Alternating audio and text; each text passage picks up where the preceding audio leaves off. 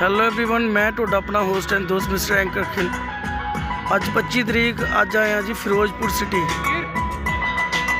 Firozpur